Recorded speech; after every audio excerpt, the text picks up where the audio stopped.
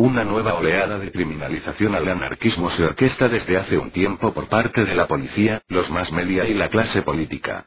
Su objetivo, como siempre, es sacralizar la democracia mediante el miedo y dinamitar la lucha revolucionaria. Los medios para conseguirlo son, como siempre, el desconocimiento, la tergiversación, la espectacularización, y, en algunos casos, la inutilidad de algunos periodistas con el mismo rigor que una adivina de feria. Los dos últimos casos han sido los supuestos hechos acaecidos en Ciudad Universitaria el 20N y la detención de cinco anarquistas acusados de la colocación de una bomba en la Basílica del Pilar. Abrir periódicos y ver constantemente al anarquismo identificado con la violencia ultraizquierdista en noticias y artículos de opinión con nulo contraste, confusión de hechos, convocantes e incluso tronchantes afirmaciones como que el anarquismo utiliza los métodos de Al-Qaeda, simplemente relatando lo que la policía quiere que se relate. Vivir en las calles despliegues policiales desmesurados que parecen más un teatro, y que tienen el fin, de que aquel que pase sin saber qué ha ocurrido, sienta miedo de los que se encuentran siendo identificados y detenidos. Un miedo que no solo provoca el aislamiento de los y las que sufren la represión, lo cual facilita dicha represión, sino que incapacita, inhabilita y hace que acabemos delegando en quienes prometen protegernos. Es por ello que la clase política se suma al espectáculo, corriendo a condenarlo con firmeza sin saber qué ha pasado, pero sabiendo muy bien que eso le pone medallas demócratas en el pecho ante la población.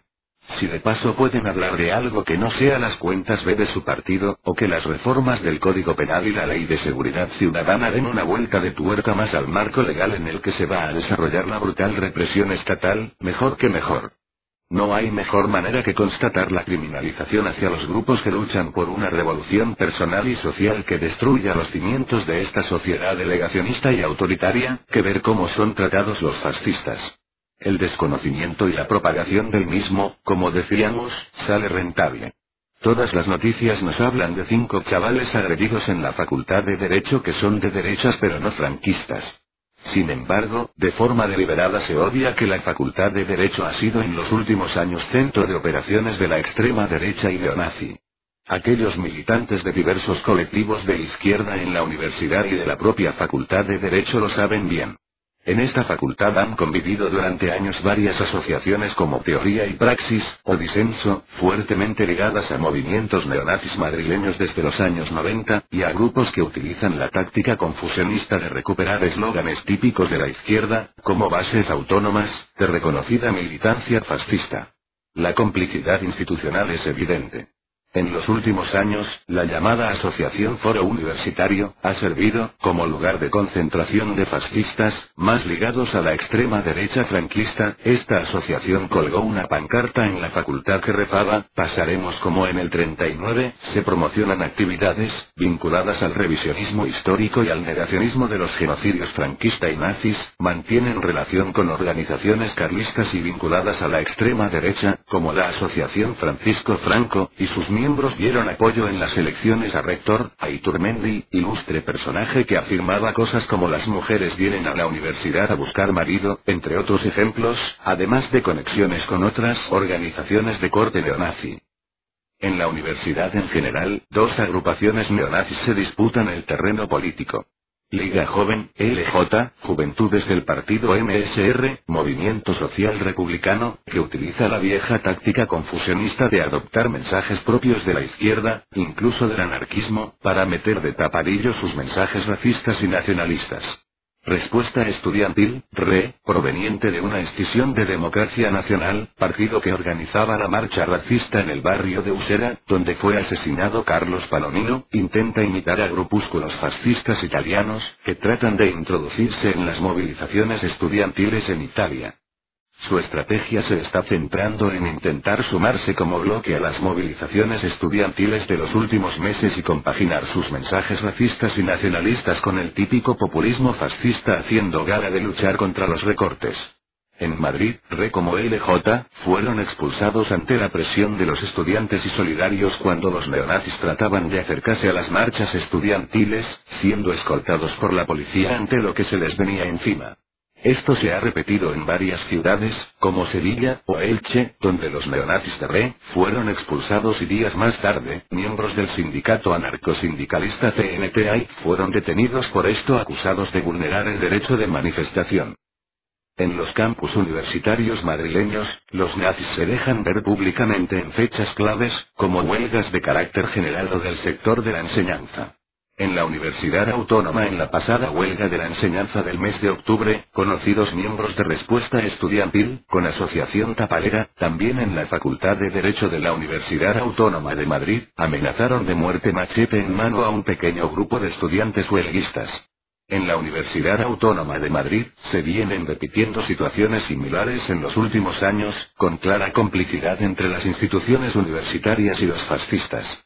En la Universidad Complutense de Madrid, por su parte, los neonazis de Liga Joven protagonizan de vez en cuando excursiones nocturnas de 20 personas para pegar carteles, y si se tiene la mala suerte de que algún estudiante o trabajador del campus comprometido políticamente sea reconocido por estos energúmenos, llegan las agresiones. Agresiones que se repiten ocasionalmente, en acciones relámpago de miembros de Liga Joven que entran en las facultades.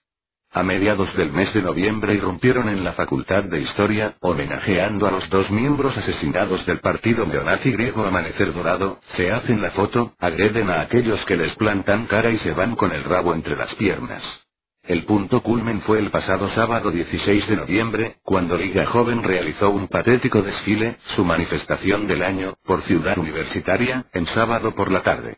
La respuesta antifascista se organizó rápido y contó con la presencia de 150 personas que en la entrada de la Facultad de Farmacia, fueron encerrados por la seguridad de la Complutense, al mando del rector, y las más de 20 lecheras de antidisturbios, para ser retenidos, identificados y cacheados. La connivencia del Estado, la clase política en general, los más media, el rector de la Universidad Complutense de Madrid, en el último caso en particular con estos grupos fascistas al defenderlos, criminalizar la lucha contra ellos y esconderlos ocultando su verdadera ideología, nos es más que obvia. La oleada mediática, antianarquista, no son valores de respeto a quien piensan diferente, tal y como abanderan los altavoces del régimen y defensores de los valores democráticos, son los valores de la obediencia, de la disciplina al sistema vigente, por eso no hay ninguna queja de las agresiones fascistas sino que se ven, no solo obviadas, sino deliberadamente ocultadas. Así todos salen ganando. La democracia condena a los que luchan por un sistema horizontal, libre e igualitario, saliendo reforzada, y, además, se protege a la extrema derecha, que trata de reorganizarse nuevamente, siendo un brazo directo y sin tapujos dentro de la democrática gestión del Estado de Derecho de la represión y la opresión. Periodistas y políticos no dudan en cargar contra la violencia como concepto abstracto. Detrás de esto, hay un interés manifiesto en el Estado de deslegitimar cualquier intento de los oprimidos por defenderse de las agresiones de un sistema que ostenta el monopolio de la violencia. ¿Cómo pueden hablar de violencia aquellos que cuentan con todas las pistolas, las bombas y los ejércitos? ¿Cómo hablan de violencia aquellos que fabrican armas de muerte y fomentan las guerras en todo el mundo?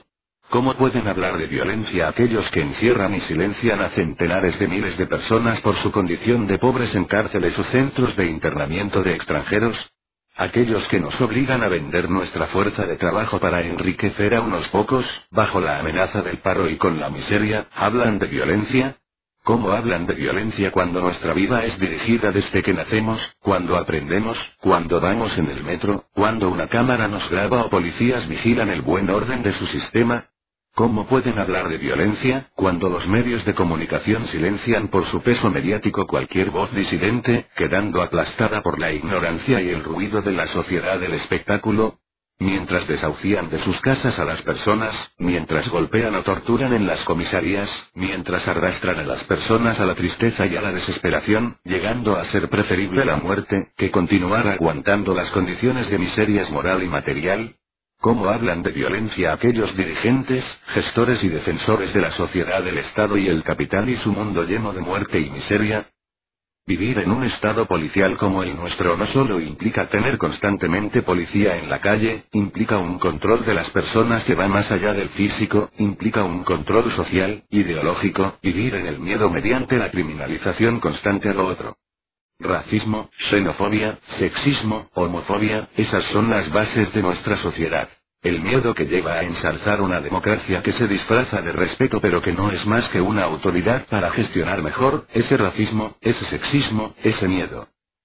Seguiremos luchando, a través de la acción directa, aquella acción que hacen los propios implicados en sus problemáticas de forma colectiva y solidaria, sin delegar en nadie, ni rectores, ni decanos, ni delegados de junta de facultad, ni jueces, liberados sindicales o políticos. El anarquismo siempre les ha sido un enemigo muy útil y por eso, como podemos ver también en cómo habla del anarquismo cualquier libro de texto, se ha esforzado en mantenerlo como un temible desconocido a lo largo de la historia. Y, como siempre en la historia, seguiremos luchando los anarquistas contra cualquier forma de Estado y contra el capital.